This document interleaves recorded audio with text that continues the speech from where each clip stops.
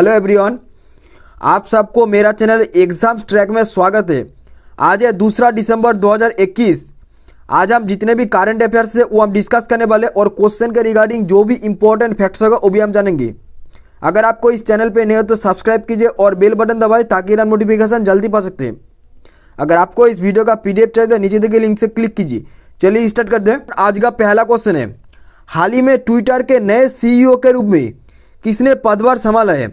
और इसका ऑप्शन है सत्य नाडेला, पराग अग्रवाल, नीरा टंडन और विलियम जोसेफ। और इसका आंसर है पराग अग्रवाल, भारतीय मूल के प्रयुक्ति कार्यकारी।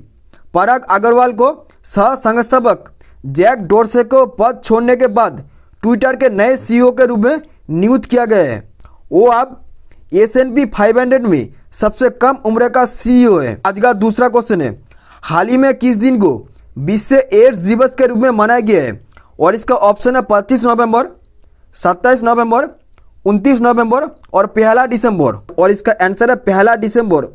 और इसका थीम है, असमानता को समाप्त करना और एड्स को भी समाप्त करना। इंड इनक्वालिटीज इंड एड्स इस दिन का उद्देश्य है, लोगों को एड्स के प्रति जागरूक करना और संक्रमितों के प्रति अज्ञानता को कम करना। इसे पहली बार उन्नीस सौ अठासी में थॉमस नेटर और जेम्स डब्ल्यू बेन द्वारा अगस्त महीने में पहले मनाया गया था। आज का तीसरा क्वेश्चन है। हाल ही में मालेशिया ओपन स्क्वैश चैंपियनशिप 2021 किसने जीता है? और इसका ऑप्शन है Miguel Rodriguez Saurabh Ghoshal, William Smith और जोसेफ एंटोनी। और इसका ऑप्शन है सौरभ घोषाल। वो मालेशिया ओपन चैंपियनशिप 2021 जीतने वाला पहले भारतीय स्क्वैश खिलाड़ी बन गई है।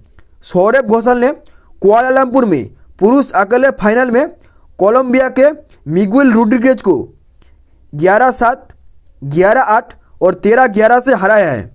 दूसरी ओर 2021 मालेशिया ओपन स्क्वैश चैंपियनशिप का महिला अकेले खिताब मालेशिया की आइफा अजमान ने जीती है। आज का चौथा क्वेश्चन है, हाल ही में किस राज्य के पुलिस ने collier cop mobile application launch किया है? और इसका ऑप्शन है हरियाणा पंजाब, नागालैंड और गुजरात। और इसका आंसर है नागालैंड। इसका उद्देश्य सभी नागरिक विशेष रूप से तनाव में रहने वाले लोगों को पुलिस से संपर्क करने में सक्षम बनाते हैं इस ऐप को पुलिस मुख्यालय सीआईडी शाखा द्वारा Exologics tech solution private limited Nagaland के सहयोग से विकसित किया गया है। आज का पांचवा क्वेश्चन है, यूनेस्को सद्भावना राजदूत के रूप में किससे नियुक्त किया गया है?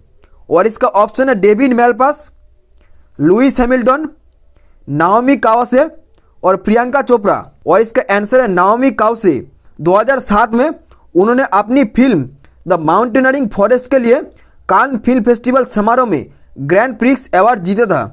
वो 2020 टोक्यो ओलंपिक खेलों की आधिकारिक फ़िल्म निर्देशक भी थे। आज का छठा क्वेश्चन है, हाल ही में सातवीं बार पुरुष के बैलेंडियोर किसने जीता है?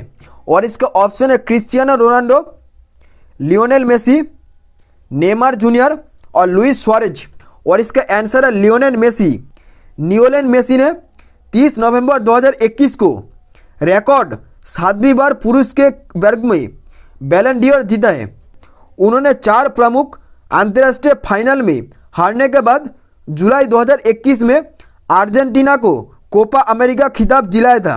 दूसरी ओर एलेक्सिया पुटेलस ने पहली बार महिला बैलेंडियर जीता है। आज का लास्ट क्वेश्चन है क्वेश्चन नंबर सेवन हाल ही में किस देश ने व्हाइट सी में जीरकॉन क्रूज मिसाइल का सफलतापूर्वक परीक्षण किया है? और इसका ऑप्शन है चाइना राशिया जापान और इंडिया और इसका आंसर है राशिया ये धनी की गति से नौ गुना तेज उड़ान भरने में सक्षम है और इसकी रेंज है हज़ार किलोमीटर। इससे रूस की सेना की क्षमता में इजाफा होगा। If you like the video please like comment share and subscribe दाइंड thank you